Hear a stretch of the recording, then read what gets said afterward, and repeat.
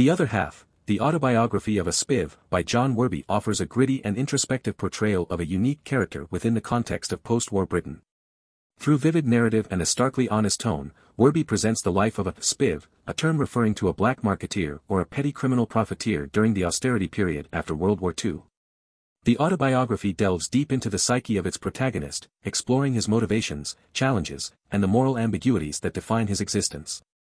Worby's writing style is unapologetic and raw, reflecting the harsh realities of survival in a socially fractured post-war society. His language is often colloquial, mirroring the streetwise vernacular of the time, which adds authenticity to the narrative. Central to the narrative is the portrayal of the Spiv as a figure navigating the gray areas between legality and illegality. Worby paints a complex picture of this character, neither wholly sympathetic nor entirely condemnable. Instead, the autobiography invites readers to empathize with the Spiv's struggle for survival amidst economic hardship and social upheaval.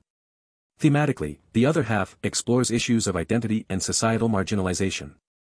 Worby portrays the Spiv as a product of his environment, shaped by the economic depression and the moral ambiguity of the times.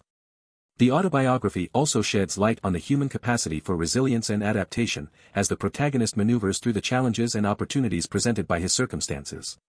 Moreover, the narrative style of the autobiography contributes significantly to its impact. Worby employs a straightforward yet evocative prose that immerses the reader in the Spiv's world. The use of vivid descriptions and personal reflections deepens the reader's understanding of the protagonist's inner conflicts and external challenges. In conclusion, The Other Half, the autobiography of a Spiv, by John Worby is a compelling exploration of a marginalized figure in post-war Britain.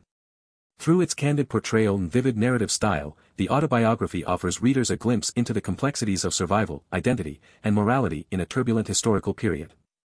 Worby's ability to humanize his protagonist while not shying away from the darker aspects of his life makes this autobiography a poignant reflection on the human condition.